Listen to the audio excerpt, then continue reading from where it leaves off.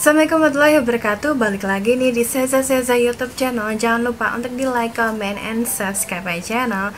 Kali ini gue akan membahas nih mengenai Vanessa Angel dan juga suaminya Yang diamankan polisi terkait narkoba dan juga fakta-faktanya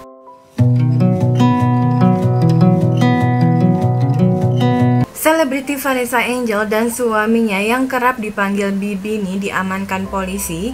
Keduanya nih ditangkap diduga terkait pemakaian narkoba. Vanessa dan suami beserta asistennya nih diamankan di suatu tempat di Jakarta. Hingga saat ini ketiganya nih masih dalam pemeriksaan.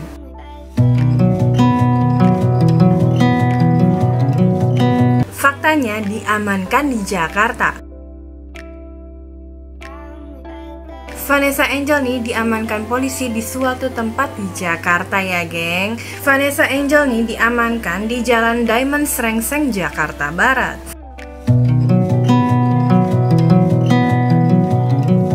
Faktanya ya, suami Vanessa Angel dan juga asistennya turut diamankan Nah, selain Vanessa Angel, suaminya nih, Bibi Aryansyah juga turut diamankan dan gak hanya itu ya, ada juga asisten Vanessa nih yang turut ditangkap. Mereka kini tengah menjalani pemeriksaan di kantor polisi.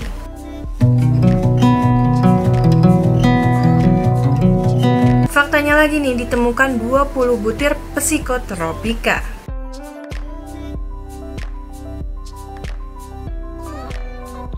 Polisi menemukan zat psikotropika saat Vanessa dan suami diamankan nih geng.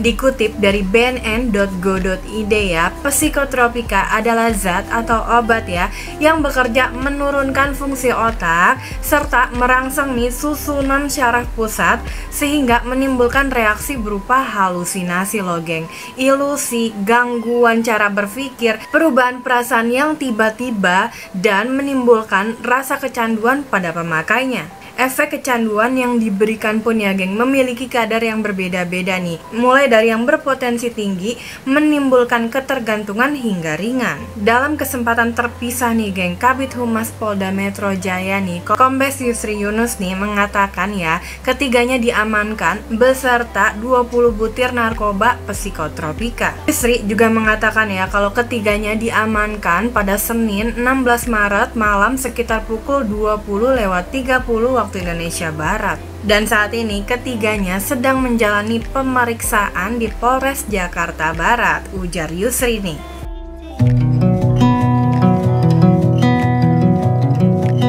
Faktanya lagi nih, tes urin dan juga darah dari Vanessa Angel. Vanessa nih yang saat ini tengah mengandung ya geng akan menjalani tes urin ya. Menurut Kombes Yusri sendiri nih, yang bersangkutan masih dalam pemeriksaan, jadi belum tahu pasti nih positif atau negatif tentang tes urin dan juga pemeriksaan darahnya.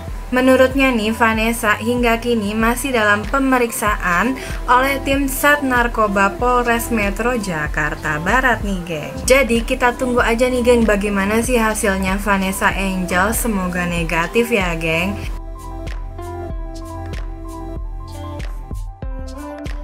Nah itu tadi dia sedikit bahasan mengenai Vanessa Angel dan juga suami yang ditangkap karena kasus narkoba. Dan berikut fakta-faktanya ya geng.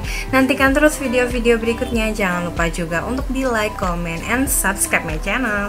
Sampai jumpa lagi, Assalamualaikum